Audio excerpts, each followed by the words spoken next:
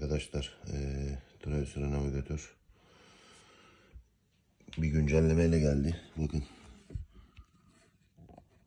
Orijinal barkodu olmasına dikkat edeceğiz. Eee, normal numaraları eee, ürün orijinalliği ile alakalı. Bakın arkadaşlar bunların olmasına dikkat edeceğiz.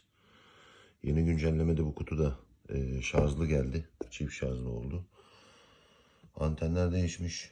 eee, malzeme değişmiş. Ve şey çok güzel olmuş. Eee, lazer başlığı değişmiş. Metal olması aldatıyordu demek ki ve sap değişmiş. Açık renkli. Titanyum yapmışlar galiba. Çok güzel olmuş. Çok hoşuma gitti. Acayip bir sağlamlığı var.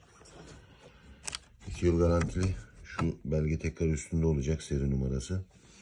Ee, orijinal ürün olmasına dikkat edin. Geldi bakalım. Yakında videolara çıkacağız. İnşallah Allah nasip ederse. Antenlerimiz de iki anten de değişmiş, farklılaştırılmış. Böyle değildi ilk geldiğinde.